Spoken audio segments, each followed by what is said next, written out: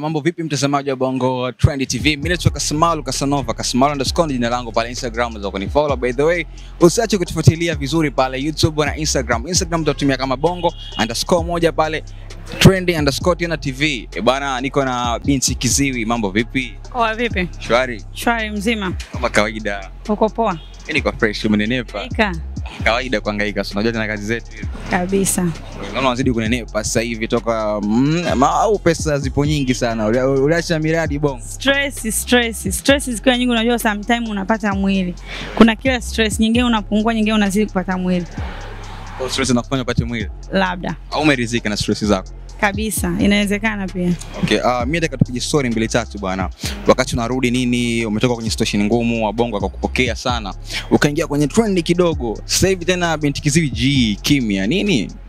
Ah, kama nilivyosema mwanzo, kwa sababu ni miaka mingi sikuwa nyumbani na familia, kwa hiyo okay, nilitaka wajue nimerudi nini nimepitia, alafu niko bize kidogo na familia na kutafuta riski.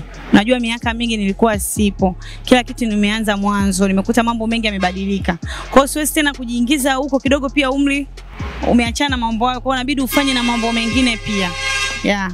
Lakini kama hivi mkinihitaji, sina nawapatieni muda yeah. Kama tukitenga kiasi kadhaa hivi cha mkwanja bwana, binti Kizito mwana tena kwenye video pale kama zamani. Mm -mm, kwa kweli sasa hivi siwezi kufanya video. Acha Diamond akikucheki. Hapana, siwezi kufanya, unagoma kabisa. siwezi kufanya video kwa sasa. Kwani industry ya video vixen na siri gani mpaka unagoma wewe kuto kuingia? Haina siri, haina siri yoyote, ni kitu ambacho nilifanya, nilikuwa napenda na nimerudi pia nimefanya, lakini kwa sasa hivi nina mambo mengi ambayo huko kidogo sipo. Kuna wasichana wengi wadogo wadogo wengi mavideo Wengine wakupiki kwa uzuri. No, wapo wengi ambao wanafanya vizuri sana, kwa hiyo sio ni sababu ya kutafutwa mimi yeah. Video vix gani ambaye sasa hivi ukimwangalia unasema da, huyu bana huyu lege pulango la binti kizio ameliziba sasa hivi. Ah, naona wako wengi yani hata kwa, kwa kalili kwa Mmoja wapo ambao namkubali sana. labda ah,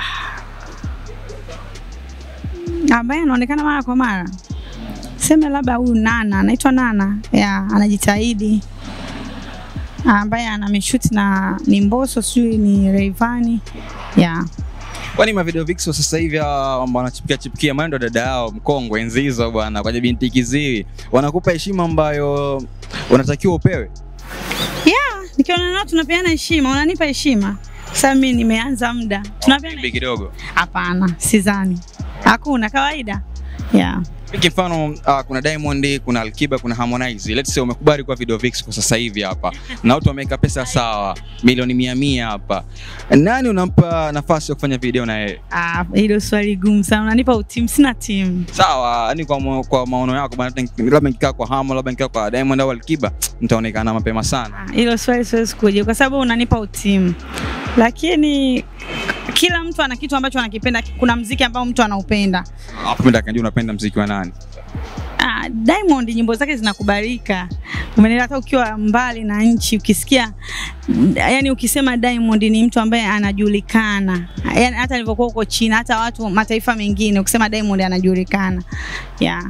Kwa hiyo Diamond Alikiba wanajulikana. Harmonize nilikuwa simjui, nilivyorudi Bongo ndo nimemsikia. Kwa hiyo hao ambao nimewaacha wanajitahidi yeah.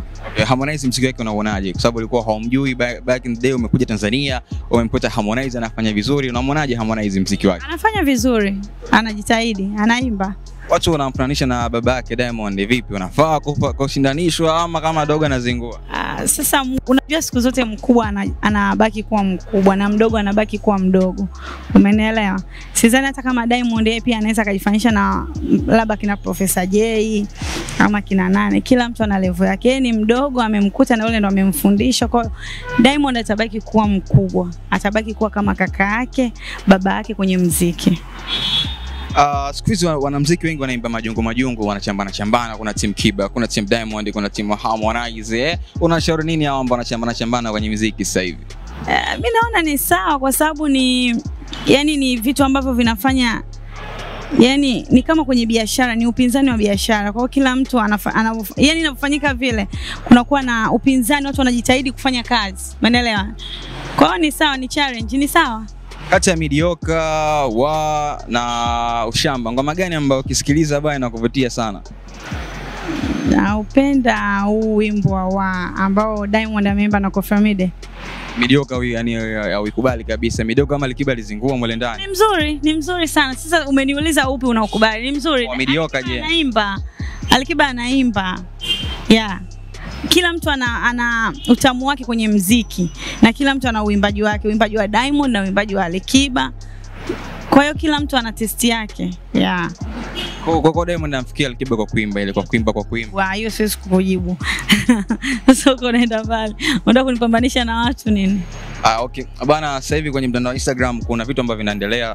Tumemwona mama yake marehemu Steven Kanumba amekuwa mkali sana kwa Elizabeth Michael Lulu na amedai kwamba Lulu amehusika kwa namna moja na namna nyingine kumwondoa mwanae duniani. Ah, ile jambo unalionaje una, una kwa kwa kama mtu ambaye unamfahamu una- Mariam Kanumba ah, Lulu? Ili jambo la kuhusu Lulu uh, kipindi mimi naondoka mambo yake ndo alikuwa yako moto, kwa sababu ndo mwaka ambao mimi nimepata matatizo Kanumba ndo alikuwa amefariki. Issue mimi sijaisikiliza, nimeona siu leo asubuhi, nimeona nani amemjibu, kuna nani sijui msanii ameandika kwenye akaunti yake kumwelezea mama, mama, mama Kanumba anavyofanya sio vizuri. Alikuwa wastara kama sikusei. Ah, si wastara, ni wastara Sana akaandika ujumbe mrefu pale, waraka akashusha. ni. Hapana, kuna mtu ana- Anajiuliza kwani binti Kizia hajapita hajauona ujumbe? Hapana, sio wastara. Kuna mkaka mwingine bwana ameandika, sio wastara. Lakini Wasala kaandika, umeona Wasala? Ah, wastara sijaona bado. Nikija mfollow vile. Nahisi nimemfollow. Hatuna ugomvi. Ya, labda mnataka kutugombanisha, hatuna ugomvi. Una ugomvi, hauja- haujaiba huba. No, no, no, mimi na Zidanto kila siku namwambia ni mimi yule mtu nilishaachana naye kabisa, yaani muda mrefu, miaka mingi, hata tukionana hatuna hisia, labda mwenzangu, kwa mimi sina, kwa sababu mimi nina maisha yangu na nina mahusiano yangu. Kwa mimi na yeye hatuna chochote kinachoendelea, Wengi wanasema sometimes vipole vinapashwa moto bwana. Ah, sio kwangu mimi. Okay, pole kipashwe moto. Mimi nina mahusiano yangu na yeye yuko kwenye ndoa yake.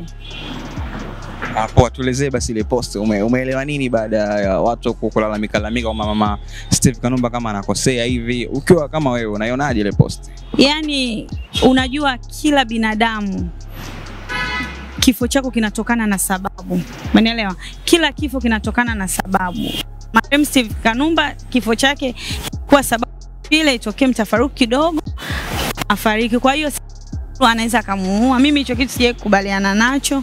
Alafu yeye kama mzazi anatakiwa akubali kwamba ile jambo lishatokea. Yeye kama mzazi, ingekuwa Lulu ndo binti yake kia kwa ma... kia ni binti wa Lulu, angejisikiaje Lulu kusaka mimi nahisi amsamee, maisha yaendelee, kwa sababu sidhani kama Lulu aliua, sidhani kama Lulu ni muuaji, ni accident ilitokea na ni miaka mingi, miaka tisa. Mtu ukishakaa gerezani, ina maana kwamba ume, umelipa kosa lako ambalo umelifanya. Lulu amekaa gerezani kosa ambalo amelifanya, kwa hiyo amsamee kama mzazi ni mzazi nahisi ana watoto wengine na hichi kitu kinaweza katokea kwa mtoto wake yoyote. Amsamee tu Lulu. As, kila anavyozungumzia vile anazidi kumuumiza ina ina muaffect psychology. Yeah. Uh, kuna kuna maneno kwa kaongea kwamba Lulu anahangaika na wanaume wengine sio na nini. Kuna kitu ambacho ningekiona tu kama mama mama yake Mariam Kanumba hivi mama yetu kama amemind baada Lulu kuwa na mahusiano mengine. Unalichukulia hili jambo je, ni kwani Lulu hakutakiwa kuwa na mahusiano mengine? Ah, sasa hiyo siwezi kuingilia zaidi, lakini yule mtu ameshafariki, ni miaka mingi sana. Hata kama ni mke wa ndoa, lazima uendelee na maisha yako, alafu ni binti mdogo yeah. Kwa hiyo yani sioni sababu ya kumwekea kinyongo na kumchukia na kumzungumzia kila siku. Lulu ana wazazi, ana maisha yake, kwa hiyo amwache huru aendelee na maisha yake. Alishakaa jela, hiyo imepita, na wao ambao wamempa hukumu waliona ni kiasi kosa gani amefanya. Yeah.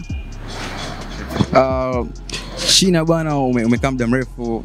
Tofauti gani ambayo unaona China, maisha ya China na maisha ya Tanzania hivi ya kijaraji? Ya China maisha jela ni jela, huwezi kusema kwamba ni mazuri, lakini yani jua tu jela ni jela na maisha sio mazuri ya Kwa mtoto ule ule kama wabongo. jela ni jela, nchi yoyote jela ni jela. Huwezi kuwa na uhuru wako, huwezi kufanya kitu chako kwa uhuru. Hiyo ndo maana ya jela, wameshachukua freedom yako, ndo hivyo. Kwa maisha ya huku siyajui ndani wanaishi, lakini kwa kule Jela ni jela. Basket kidogo mnacheza cheza nini mnarukaruka? Ya, kuna mazoezi, mnafanya mazoezi basket, mnacheza mpira. Ya, Uh, binti Kizi ni shabiki wa timu gani hapa Tanzania? ni Simba. We. Yeah. Mchezaji gani ambaye anakuvutia sana pale uwanjani? Uh, ni Hasani Dilunga. Dilunga. Dilunga eh? Unashikaji lakini ana Dilunga. Ana hata asimjui anijue. Ah, okay. Ah, kitu kimoja cha kuambia mashabiki zako wale ambao wanakutazama binti Kiziwi, mafansi zako wale lia lia toka kipindi upo kwenye matatizo walikuwa wanakuulizia sana. Mashabiki Mashabiki zako ya nawapenda, na sio kwamba msinione niko kimya, lakini unasuka mabomu. nimesogea kidogo kwenye mambo hayo, lakini niko kwenye mambo mengine. Kwa hiyo kitu chochote nitakifanya nitawatangazia, lakini nipo na naendelea vizuri na bado niko strong. Mungu ananisaidia, ni hivyo tu. Na harusi utatujuza harusi yako lini? Ya, nitawajuza nitawajulisha kila kitu. Yeah. Mimi sasa hivi lakini nasikia na mkwanja sana.